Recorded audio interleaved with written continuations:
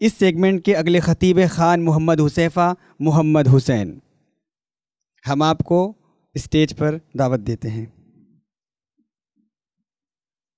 दुनिया की ज़िंदगी धोखे का सामान है। आपको समझाने तशरीफ़ लाए हैं ख़ान मोहम्मद हुसैफ़ा, मोहम्मद हुसैन।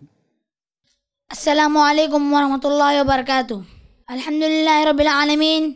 वस्सलातु वस्सलाम अला रसूलिल करीम। अम्मा बाद क़ाल अल्लाह तबारक व तआला फ़िल क़ुरानिल मजीद अऊज़ु बिल्लाहि मिनश शैतानिर रजीम बिस्मिल्लाहिर रहमानिर रहीम वमल हयातुद्दुनिया इल्ला मताउल गुरूर सदर मोहतरम हकम साहिबान और मोहतरम सामाइन आज के इस बज़ में जिस उनवान के तहत मैं लबकुशाई करना चाहता हूँ वो है दुनिया की ज़िंदगी धोखे का सामान मोहतरम सामाइन मैंने कुरान करीम की जो तिलावत की है, इसमें अल्लाह ताला फरमाता है, वमल हयात दुनिया इल्ला मताउल गुरूर कि दुनिया की ज़िंदगी महज धोखे का सामान है, और अल्लाह की नज़र में दुनिया की कोई कदर कीमत नहीं है। अल्लाह ताला ने हमें बार बार आगाह किया है, लेकिन हम दुनिया की रंगीनियों में इस कदर मगन हो चुके हैं कि अपने असल मकसद और टारगेट को भूल चुके हैं। और हमने दुनिया को सब कुछ समझ लिया है लेकिन याद रखो यहाँ औलाद, ये माल व जायदाद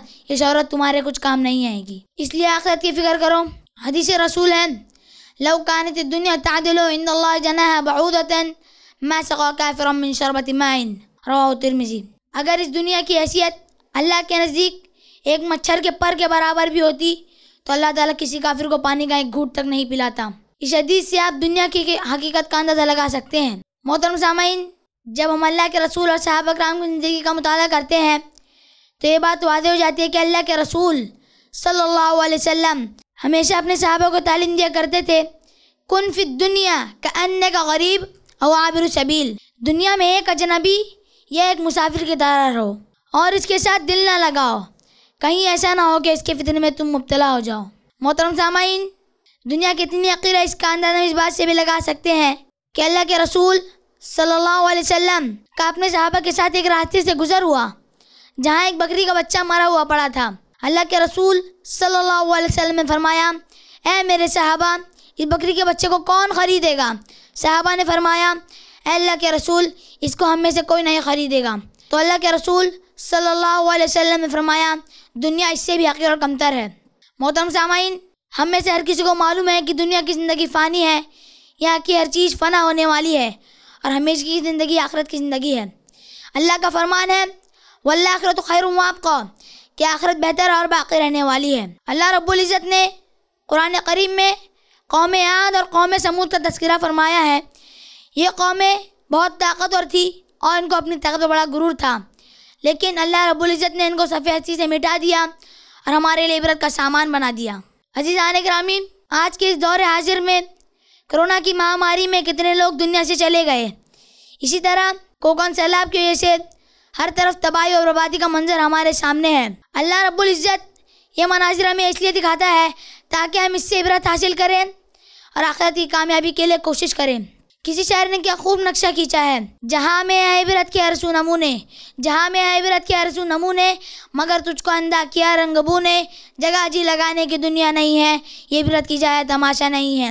आखिर में अल्लाह रबुल इज़्ज़त से दुआ है कि हम सबको आखरत की फ़िक्र करने की तोफ़ी बख्शे और दुनिया के हर फितने से हमारी हिफाजत फरमाए। आमीन। वाखुरदावाना अनिलहमदिल्ला रबालमीन वसलम वरहमल वर्क वालेकुम वरहमतुल्लाहि वबरकातुहू।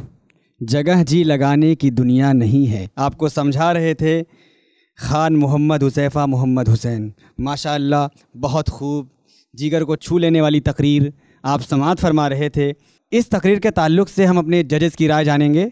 हमारे अजीम जज हैं शेख अकबर शम्स मदनी हफीज़ुल्ला माशाल्लाह, बच्चे ने हालत हाजरा के साथ और अपनी तकरीर के मवाद को वक्त के एक ख़ास मौजू के साथ जोड़ा है। इससे पता नहीं चलता है कि बच्चा याद किया, बल्कि पता चलता है बच्चा समझ कर बोल रहा है। अगर आप बारीकी से इसकी तकरीर को सुने और हालात हाजरा देखें तो ऐसा नहीं लगता बच्चे ने याद किया है, क्योंकि करंट में दो मिसालें उसने पेश की है। ये दकीक व बारीक रगों की जानने वाले मुकर का अमल होता है। मैं बच्चे के बेहतर मुस्तबिल के लिए दुआ करता हूँ। बच्चे ने अपनी उम्र के अतबार से बहुत अच्छी, बल्कि उम्र से बड़ी उम्र की तकरीर पेश की है। अल्लाह आपको कामयाब फरमाए। आमीन। खान मोहम्मद हुसैन के लिए दुआ करते हैं। अल्लाह इन्हें तरक्की से नवाजे। मज़ीद राय के लिए हम चलते हैं अपने दूसरे जज शाफहत सनाबिली की तरफ़। जज़ाक अल्लाह अल्लाह ताला बेहतरीन बदला दे और हालात हाजरा पर बड़ी संजीदा गुफ्तगु थी आपकी। अल्लाह ताला मज़ीद तरक्की दे। आपके लिए ढेर सारी दुआएँ ढेर सारी तमन्नाएँ। अल्लाह ताला आपको खुश रखे। ऐसे ही और वीडियोस बनाने में हमारी मदद करें।